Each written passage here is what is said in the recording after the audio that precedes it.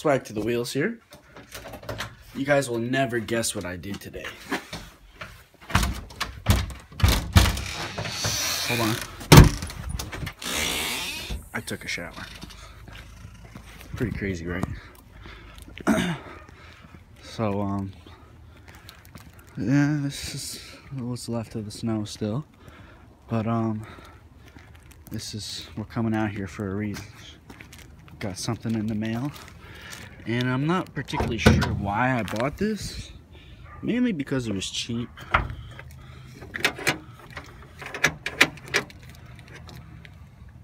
But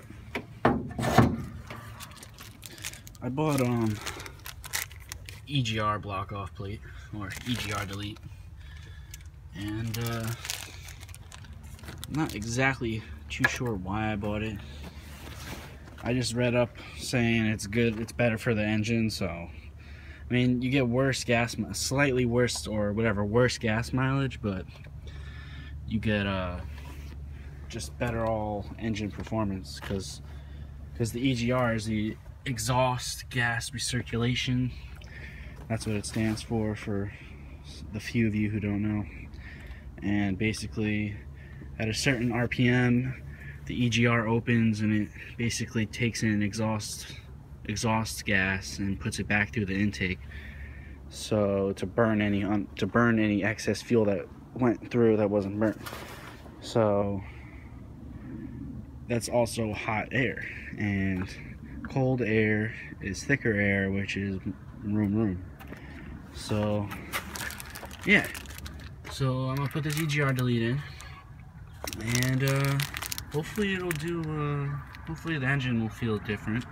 A lot of people say they have better a lot better throttle response. So hopefully that's what we'll get out of it. And uh, yeah we'll be back. When we have the tools. Also I forgot to mention um my lip fell off. And um basically it's in the trunk. It kind of ripped off. It's all good. I think I can make it go back on but anyway, back to the EGR delete. So you want to start off, you got to get this coil pack out of the way. So it's, there's two 12 millimeter bolts. Where's the other one?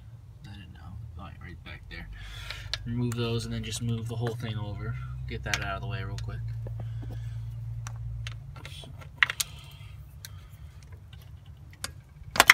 Oh yeah, I need two hands. So once you get this out of the way, it's just those two 12 millimeter bolts and then you can lift it off.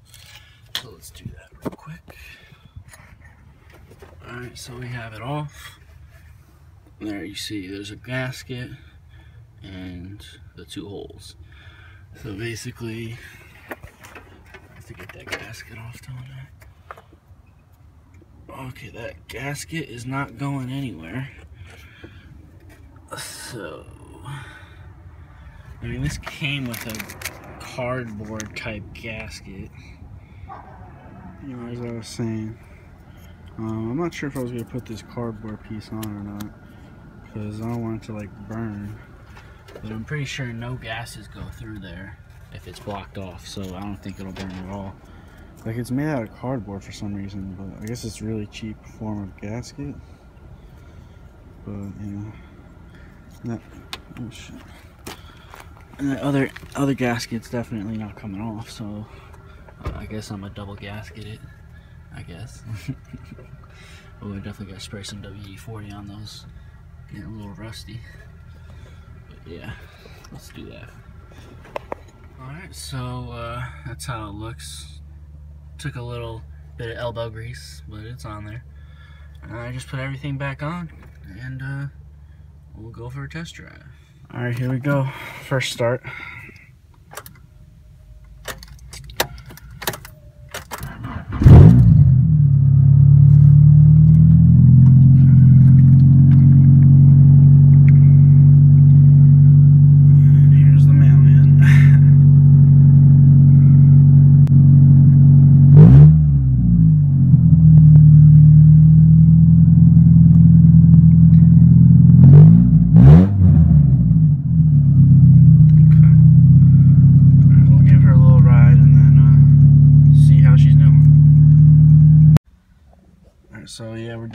Update the EGR delete. So it's been about a week and a half or so since I recorded the first part of this video. And now when the car is cold, this is this is what's new. The car when the car is cold, it throws a check engine light. And but when the car is warm, it goes away. But um when the check engine light is on, it's like the car runs rich as fuck because it backfires like crazy when the check engine light's on. But when I turn the car off, turn it back on, like the backfire stop almost. It's really weird. But um let's see how she and also it's very hard for her to start, but it is extremely warm today, so maybe it'll start right up. So let's see.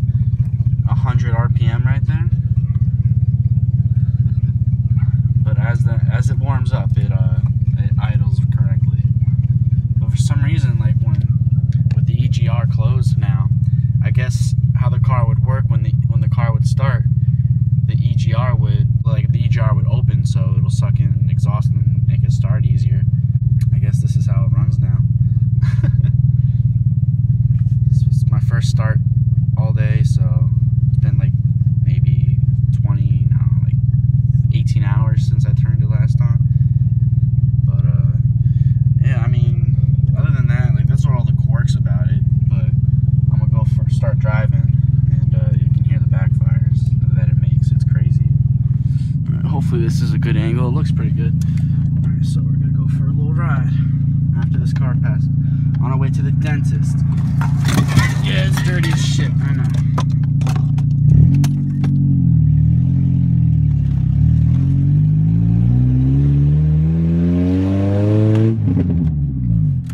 So as you can hear, it backfires almost instantly every time with the check engine light.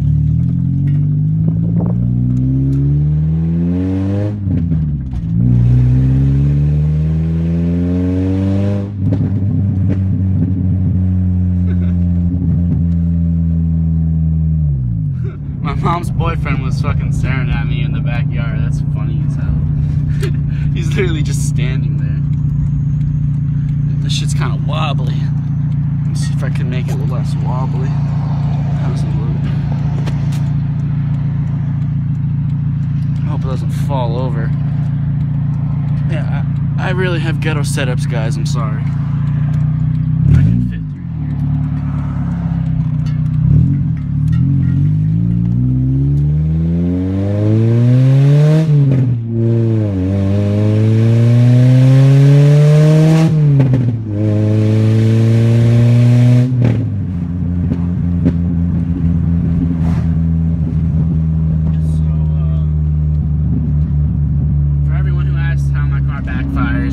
video.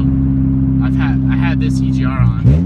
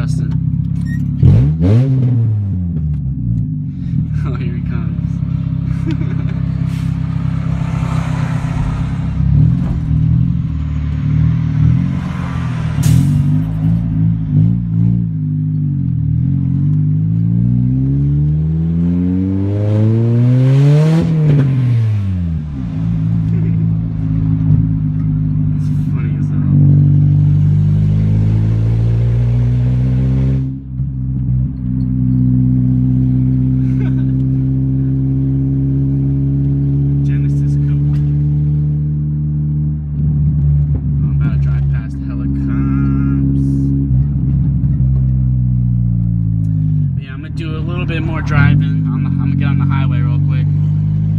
Just for literally like 10 seconds, I'm gonna be on the highway.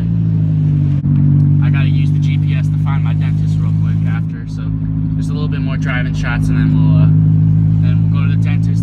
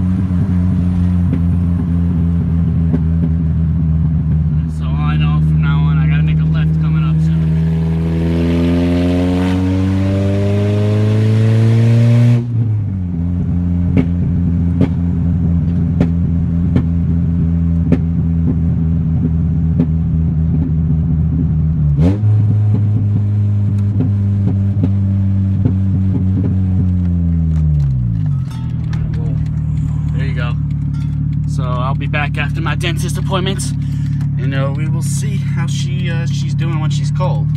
I mean, when she's warmed up, because you'll see it drives completely differently when it's warm. All right, I'm just gonna elaborate a little bit more on uh, how it runs when it's cold. I mean, how it runs without the check engine light. So clearly, what you just saw how it runs with the check engine light, and it's boom, boom, boom, boom, boom. And I didn't and right before this, uh, yeah, it's taken me a couple days to do this video, but um, the, the video I recorded before this, uh, I didn't really talk about how um, how it actually drives without the check engine light. So without the check engine light, I mean, it basically it's identical to um, it's identical